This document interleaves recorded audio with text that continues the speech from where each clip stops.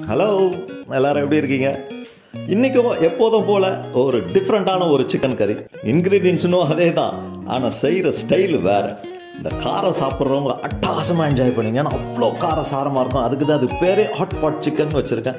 இப்போ இந்த ஹாட் பாட் சிக்கன் எப்படி செய்யணும்னு பார்த்துடலாமா? ஈஸியாக பண்ணிடலாம். வாங்க.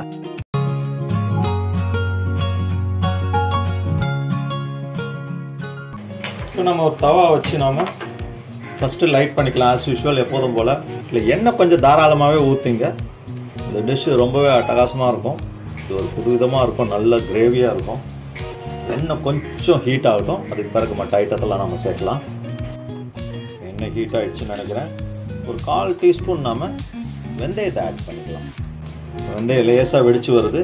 இந்த நேரத்தில் ஒரு துண்டு பட்டை ஒரு பெரிய ஏலக்காய். இந்த படி ஏலச்சின்னு வாங்கல கருப்பு கலராக இருக்கும். ஒரு மூணு நாலு கிராம்பு போட்டுங்க. ஒரு இந்த பே லீஃப் ஒரு ரெண்டு போட்டுக்கிறேன். அப்புறம் அந்த காஞ்ச மிளகா ஒரு ரெண்டு காஞ்ச மிளகா நான் சின்ன சின்னதாக வெட்டி வச்சுக்கிறேன். அதையும் போட்டு ஒரு ஃபியூ செகண்ட்ஸ் நாம் ஃப்ரை பண்ணிக்கலாம். வெந்தயம் நாம் கருகாமல் பார்த்துக்கணும். ஓரளவுக்கு எல்லாம் ஓரளவுக்கு ஃப்ரை ஆகுது. இந்த நேரத்தில் ஒரு மூ ஒன்றரை டேபிள் ஸ்பூன் அளவுக்கு இஞ்சி சின்ன சின்னதாக வெட்டி வச்சுருக்கேன். பூண்டு ஒரு ஒன்றரை டேபிள் ஸ்பூன் அப்புறம் ஒரு ரெண்டு பச்சை மிளகாய் நீங்கள் நசுக்கி கூட போடலாம் ரொம்ப நல்லாயிருக்கும்.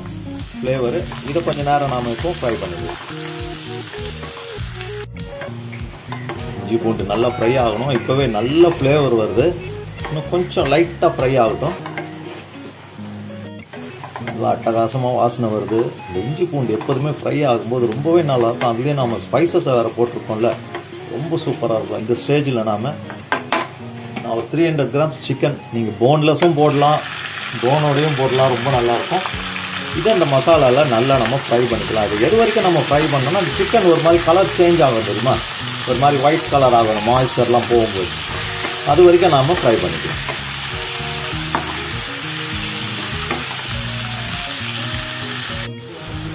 இப்போ நல்லா கலர் சேஞ்ச் ஆகிடுச்சு பார்த்தீங்களா சிக்கனு இந்த ஸ்டேஜில் நாம் என்ன செய்கிறோம் ஒரு ரெண்டு அல்லது மூணு டேபிள் ஸ்பூன் அளவு தயிரை சேர்த்துக்கிறோம் இந்த சிக்கனோட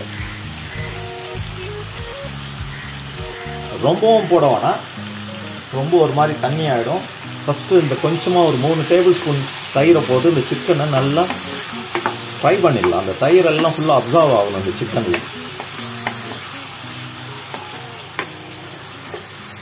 ரொம்பவே டேஸ்டியாக இருக்கும். அது டிஃப்ரெண்ட்டாக இருக்கும். இந்த டேஸ்ட் ஒரு தடவை செஞ்சு பாருங்கள் நம்ம எப்போதும் செய்கிற மாதிரி இருக்காது.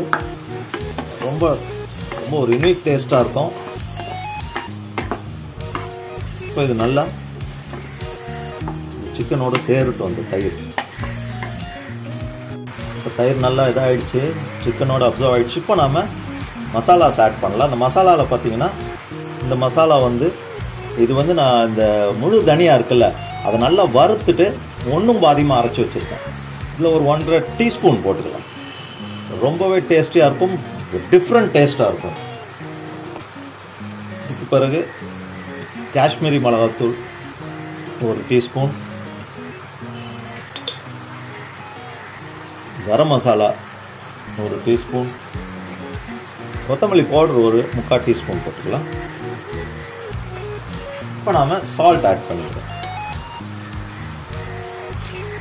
எவ்வளோ சிக்கன் குவான்டிட்டி போடுறீங்களோ அதுக்கு ஏற்றபடி ஆட் பண்ணிக்கலாம். இப்போ இந்த நம்ம அந்த தயிரில் பாதி தானே போட்டோம் ஸோ மீதி இருக்க அந்த ரெண்டு டேபிள் ஸ்பூனையும் இதோடு சேர்த்துக்கலாம்.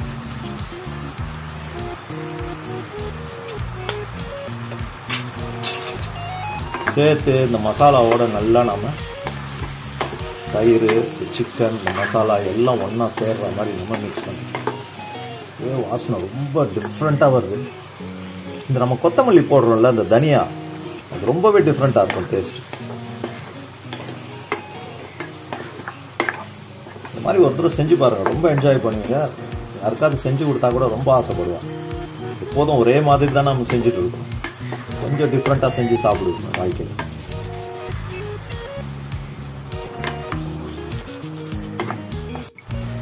இப்போ இந்த மசாலாலாம் சிக்கனோட நல்லா பிளெண்ட் ஆகணும். அதுக்காக நம்ம ஒரு மூடி போட்டு ஒரு ஃபைவ் டு எயிட் மினிட்ஸ் இந்த சிக்கனை வேக விட்டுடலாம். ஆல்ரெடி நல்லா வெந்துட்டு இருக்குது பாதி. இன்னும் நல்லா சாஃப்டாக இருக்கும். சாப்பிட்றதுக்கு அட்டகாசமாக இருக்கும். இந்த மசாலாலாம் சிக்கனோட நல்லா பிளெண்ட் ஆகிடும் செவன் மினிட்ஸ் ஆயிடுச்சு. நம்ம ஓப்பன் பண்ணி பார்க்கலாம். நல்லா தான் இருக்குது கிரேவி சிக்கனும் ஓரளவுக்கு நல்லா வெந்திருக்கு. இன்னும் கொஞ்சம் வேகணும். இன்னும் கொஞ்சம் வேலை இருக்குது நம்மளுக்கு. அதையும் முடிச்சிடலாம். இப்போ இப்போ என்ன செய்கிறோம் நாம்? நான் ஃபஸ்ட்டு கொஞ்சம் ஜீரக பவுடர் போட்டுக்கிறேன். அப்போ நான் சேர்த்துருக்கணும். சேர்க்கல. இது ஒரு நல்லா இருக்கும் இந்த ஸ்மெல்லு ரொம்ப நல்லாயிருக்கும் ஜீரகம் ஜீரக பவுடர்.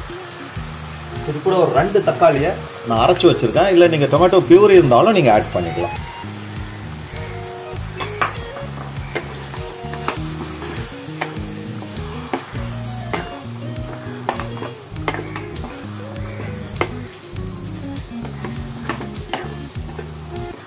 கூட என்ன செய்கிறோம் இருக்கும் இந்த தக்காளி அப்படியே இதாகட்டும். வேகத்துக்கு லைட் ஆகும். இதுக்கு மேலே ஒரு வெங்காயம் ஒரு ரெண்டு வெங்காயத்தை நல்லா மெலிஸ் மெலிசாக வெட்டி வச்சுருக்கேன். இந்த வெங்காயத்தை அப்படியே போட்டுக்கலாம் மேலே. ரொம்ப நல்லா இருக்கும். அட்டகாசமாக இருக்கும் சாப்பிட்றதுக்கு.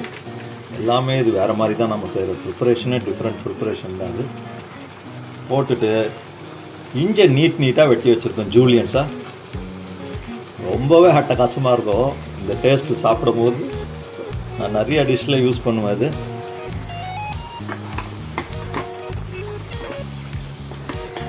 உப்பு ஆல்ரெடி நம்ம போட்டுட்டோம். கிரேவிக்கு ஏற்றபடி உங்களுக்கு வேணும்னா நீங்கள் இன்னும் ஆட் பண்ணிக்கலாம்.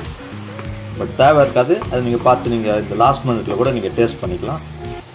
இப்போ இதை வந்து அப்படியே நம்ம வேக வைக்க போகிறோம் இதை நீங்கள் ட்ரையாக சாப்பிட்றாலும் நீங்கள் அப்படியே ட்ரை ட்ரையாக சாப்பிட்டுக்கலாம் இந்த மாதிரி கிரேவிலேயே இல்லை கொஞ்சம் உங்களுக்கு இன்னும் கொஞ்சம் வந்து கிரேவி வேணும் ரைஸுக்கு சாப்பிட்ற மாதிரி இருக்கிறதுனால கொஞ்சமாக நான் வாட்டர் ஆட் பண்ணியிருக்கேன் இந்த தக்காளி அரைச்சோம்ல நான் அதையே மிக்ஸ் பண்ணி வச்சுருக்கேன். அதையே ஊற்றிக்கிறேன் இன்னும் கொஞ்சம் தண்ணியும் நான் ஆட் பண்ணிக்கிறேன். போதும் நம்மளுக்கு.